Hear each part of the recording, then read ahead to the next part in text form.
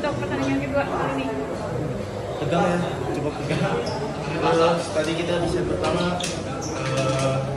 mainnya masih ragu-ragu pertama saya mainnya masih ragu-ragu jadi sempat panik di set pertama terus pas di set kedua kita dikasih tahu pelatih agar saya lebih tenang nah, dan itu mulai enak lah.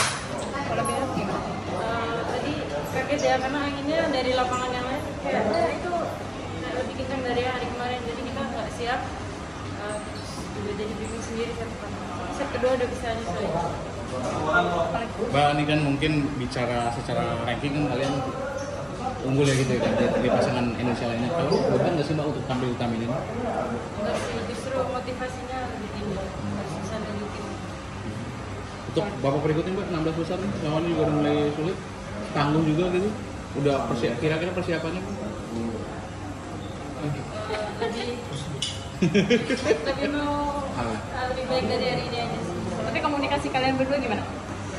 Udah udah main baik sih dibanding yang sebelum-sebelumnya Oke Oke, oke. Kasih. luck ya besok ya.